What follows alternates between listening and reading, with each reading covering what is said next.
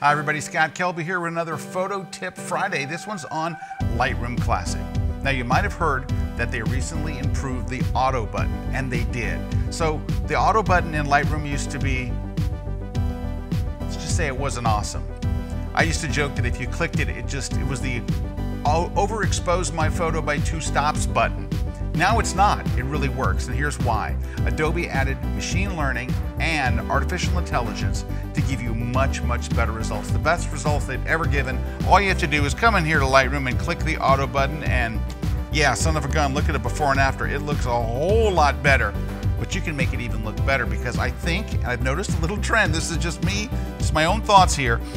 It seems like they opened up the shadows a little too much and they pull back the contrast a little too much. So here's all you gotta do to make this sweet. Pull back the shadows to the left a little bit, take the contrast to the right a little bit.